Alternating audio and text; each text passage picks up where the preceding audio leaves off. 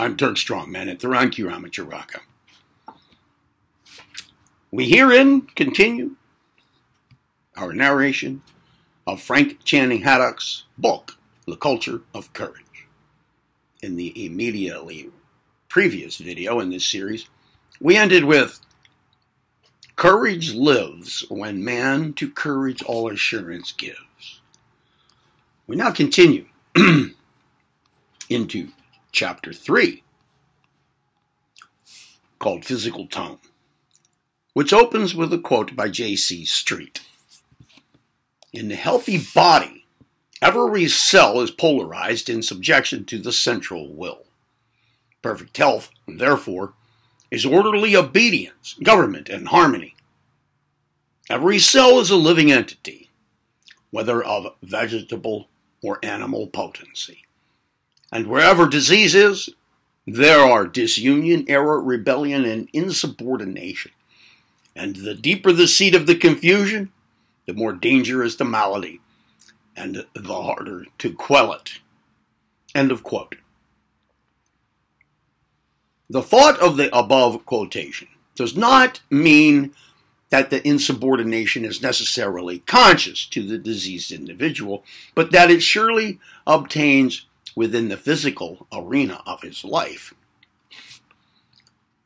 Because it is not the outcome of his deliberate choice, the case is not hopeless in the nature of things, but is open to better conditions. The deeper self which has intended no rebellion against the laws of bodily well being, may now distinctly intend harmony, and so lift the body to a higher plane. And the last sentence in the quotation does not mean that you are to undertake a vast amount of hard work, assuming that you are not in perfect physical condition.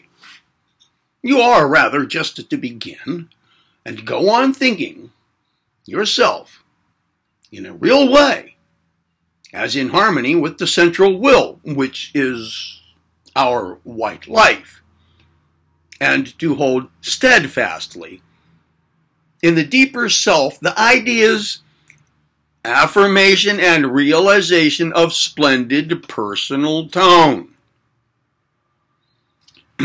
Some of the meanings of these powerful words will be unfolded later. In the meantime, as all things are subject to law, let's observe a number of the general conditions of threefold health that of body, mind, and the inner self, regarding their totality as the atmosphere, so to speak, in which courage most easily and perfectly thrives.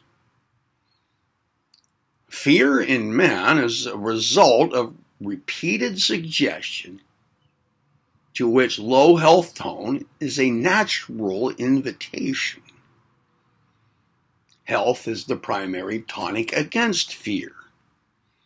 Perfect physical health, physical health, is mere strength. Perfect mental health is mere brain sanity. Perfect soul health is the whole of the man at his best.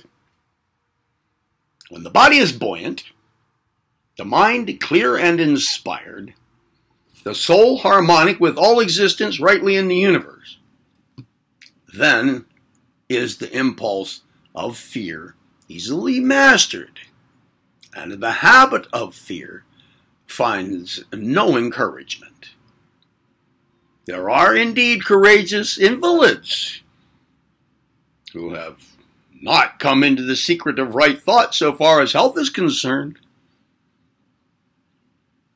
And fearing athletes and scholars who have neglected the secret of courage, and to timorous saints who have failed to possess themselves of the confidence of goodness. Nevertheless, the eternal law is evident that the one great enemy of fear is the white life in harmonic mind in buoyant body.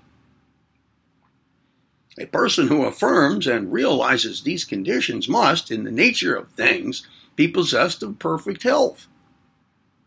In the tone of such courage, in the tone of such health, excuse me, courage is inevitable. That you may come to this ideal, you are invited to observe the following instructions.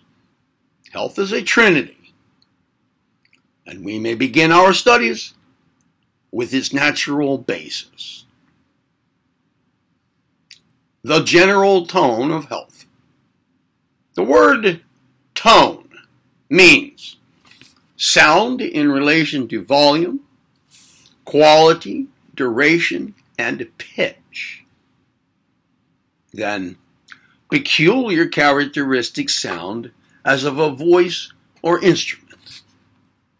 Then, characteristic style or tendency, predominating aim or character, tenor, strain, or spirit. Hence, in the sense of health, tone signifies the state of tension or firmness proper to the tissues of the body, the state in which all the parts and organs have due tension or are well strung, the strength and activity of the organs on which healthy functions depend, that state of the body in which all the normal functions are performed with healthy vigor. We thus see that health tone involves the whole personality physical, mental, and moral. But the, the, truth of the matter hides in a deeper region than that of mere material flesh or organ. Matter is a form of the universal ether, so far as science seems to declare, or at least matter presupposes the ether in a state of vibration.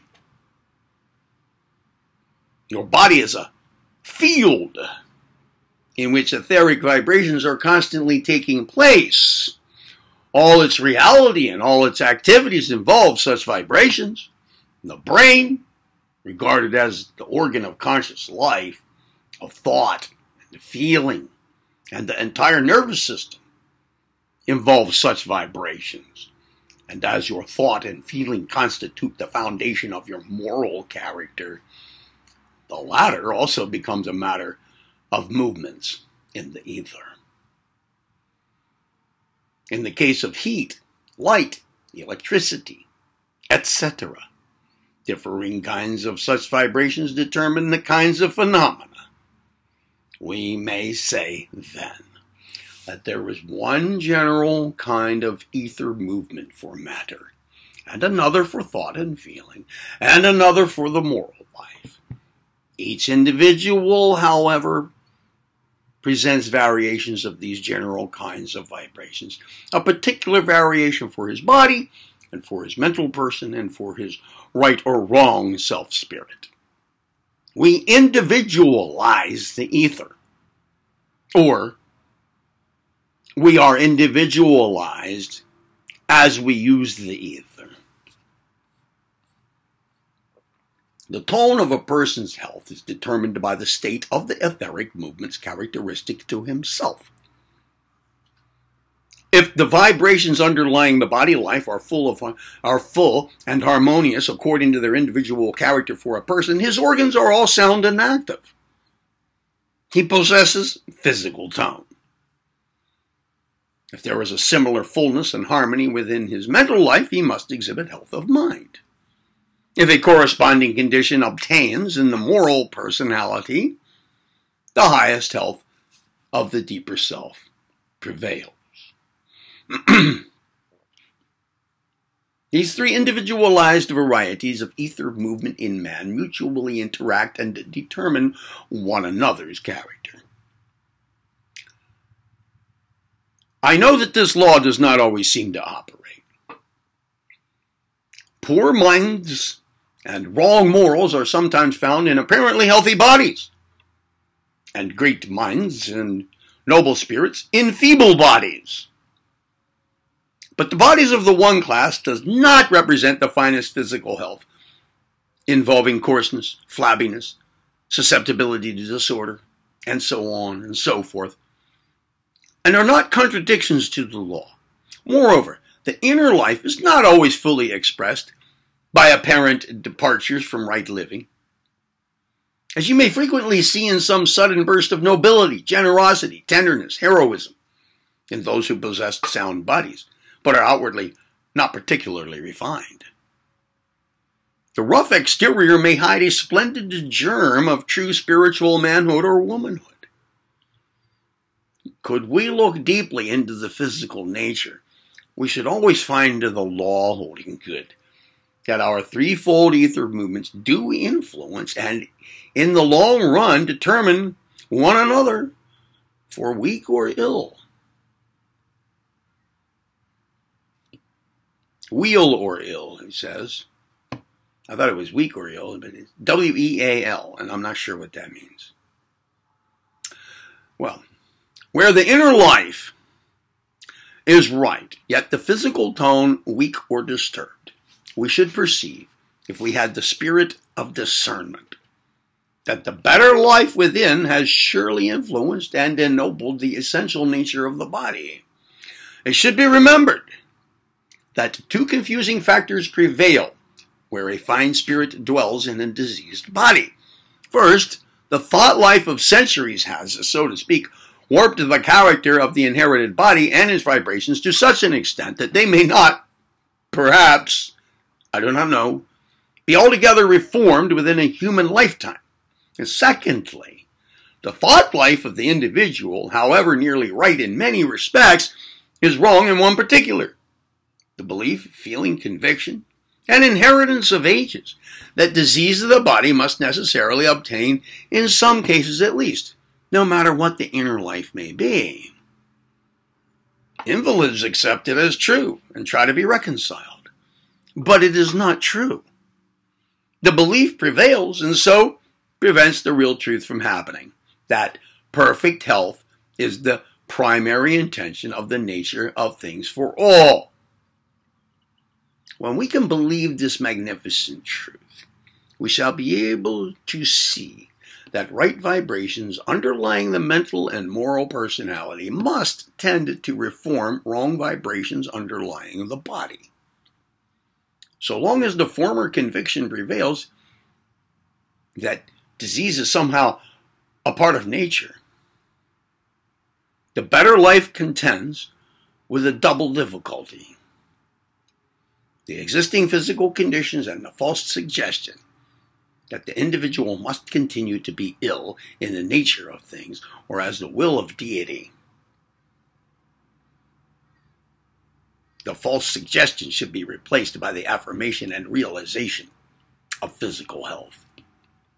Such a reforming suggestion, made effective by mental realization and proper regimes, tends to counteract the existing effects of previous wrong suggestions and positively to change conditions of ill health because fullness and harmony of three kinds of ether movements are the designed ideals of our lives and the laws of perfect well being.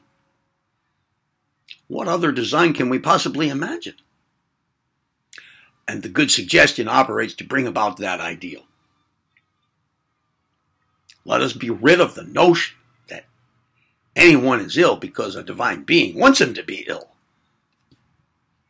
But we must remember that while these principles cannot, other, cannot be otherwise than true, every individual has behind him, at any present moment, two great forces the past of his ancestors and the past of his own life.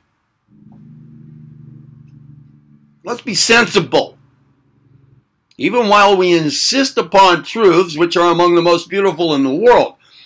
The past means much to all of us, such as law.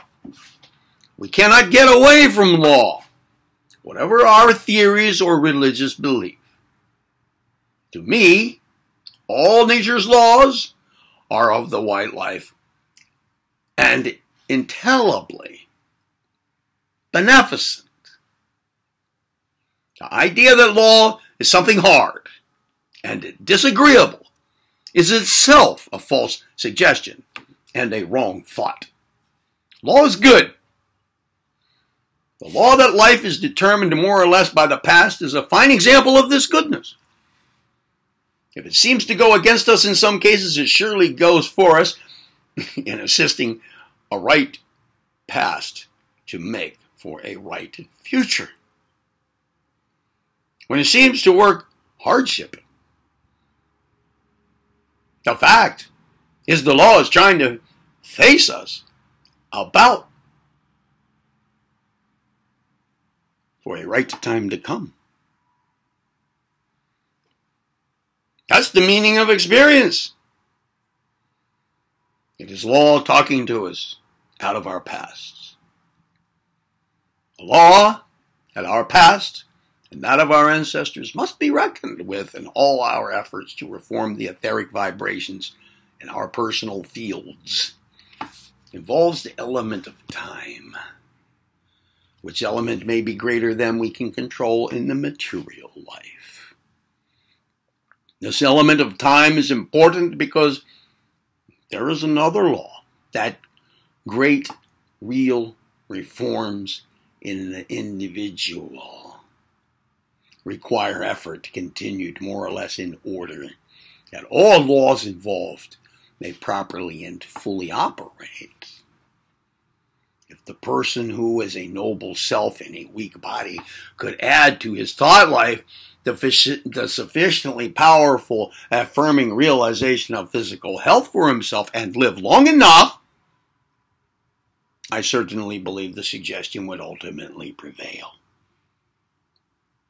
I,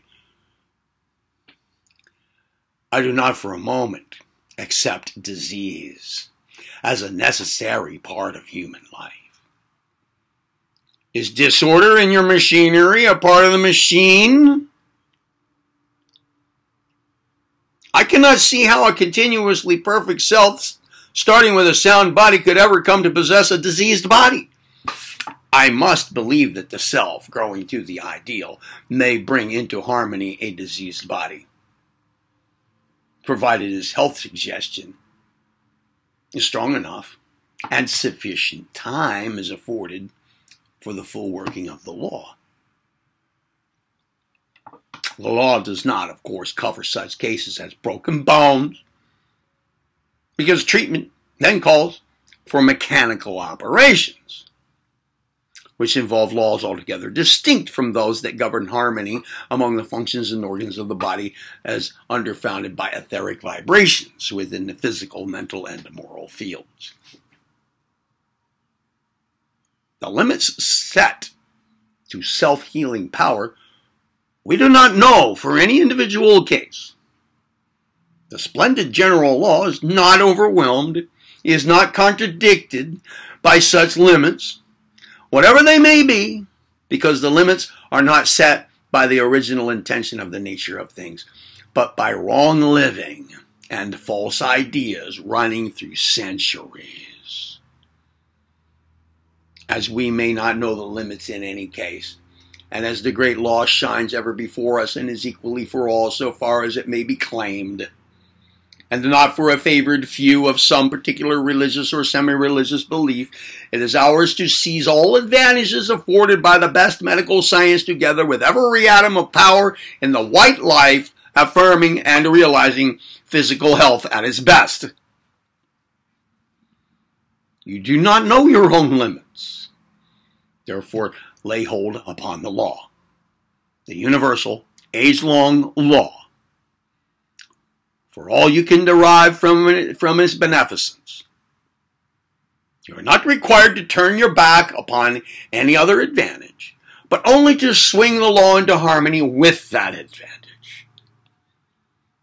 Health tone, then, is really a triune series of full, and harmonious ether movements within the personal field working together for a buoyant right self in a sane and truth loving mind in a spiritually expressing physical organism. By so much as it is yours, by so much, in the nature of the case, must fear be an alien and courage the breath of your life. In the next video in this series, we will continue with this chapter on physical tone in a section that begins with the words, we may now go on to the general consideration of physical tone.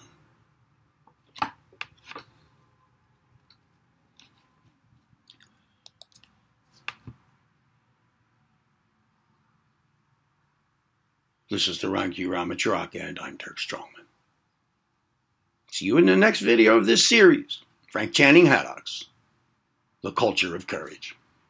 Be well.